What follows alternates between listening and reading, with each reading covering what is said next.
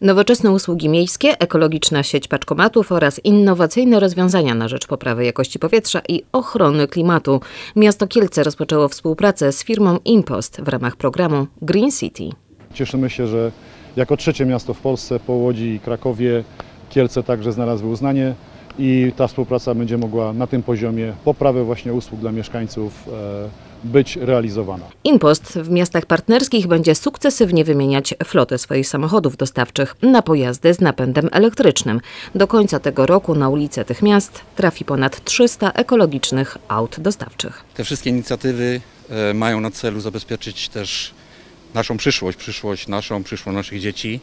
Dlatego jest to dla nas bardzo ważne, żeby właśnie e, ta współpraca i opinia i wsparcie mieszkańców e, miało wpływ na dobór i poszukiwania e, najlepszych lokalizacji, które będą wpływały także na ochronę środowiska. Paczkomaty już teraz są najbardziej ekologiczną formą dostawy. Redukują e, emisję CO2 z tytułu dostaw e, przesyłek e-commerce o 2 trzecie w miastach i aż o 90% w tych obszarach wiejskich. Działania ekologiczne to jeden z naszych priorytetów, podkreśliła zastępczyni prezydenta Kielc Agata Wojda.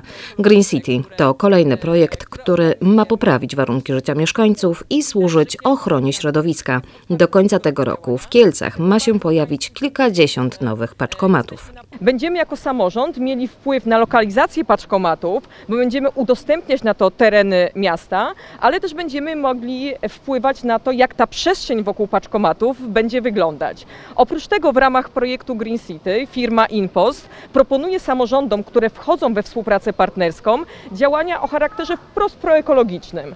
Okolice paczkomatów będą przyjazne rowerzystom poprzez wyposażenie ich w stojaki, a dodatkowo miejsca te zostaną zazielenione. Rozpoczęto też pracę nad uruchomieniem w pobliżu ratusza urzędomatu, który ułatwi mieszkańcom kontakt z urzędnikami. W Krakowie e, urzędomat obsługuje około 2000 przesyłek w ciągu miesiąca, e, więc mieszkańcy traktują to jako fajną alternatywę, ponieważ dostępną 24 godziny na dobę.